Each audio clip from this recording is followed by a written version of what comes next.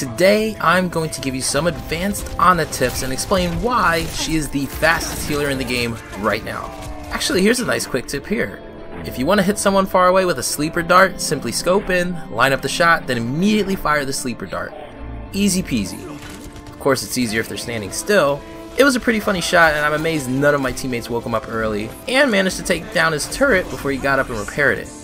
There will be some of you that may already know some of these Ana tips, and that's fine. There are still plenty of people who just haven't been able to pick her up yet or even play Overwatch since her release.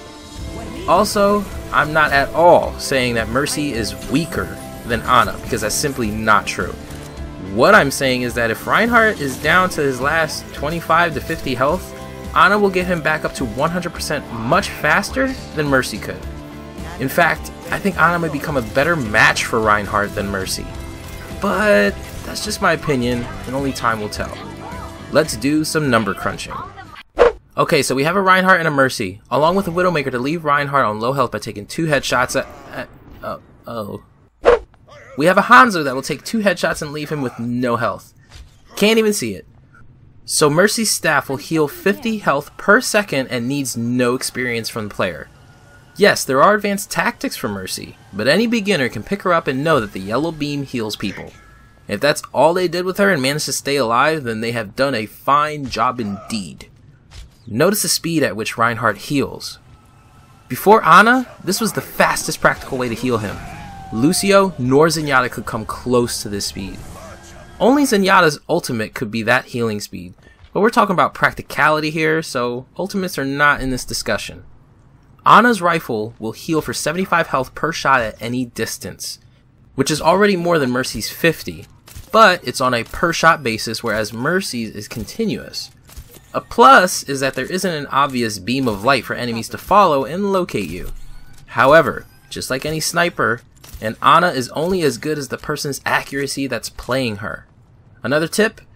I recommend hip firing a lot. You'd be surprised at the shots you can make at a distance. Now, if you weren't impressed by that, just wait.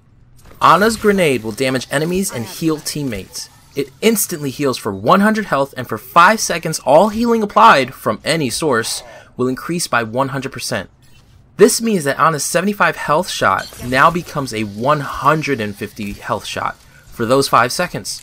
So right off the bat, combined health of the grenade and a single sniper shot will heal for a total of 250 health and spam the weapon for 150 health after that.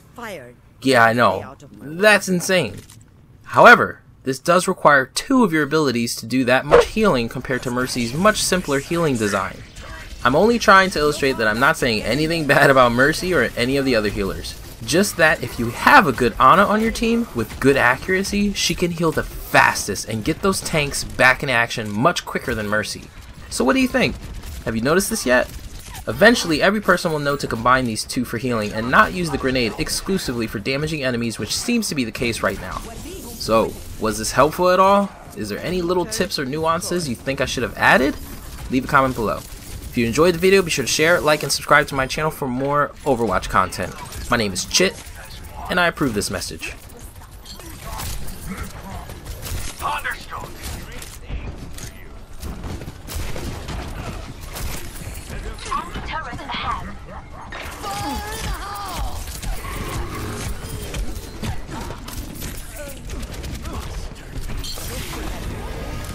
Shots find their mark. Name. Don't move. I'm escorting the payload. Let's go. Healed up. Round two complete.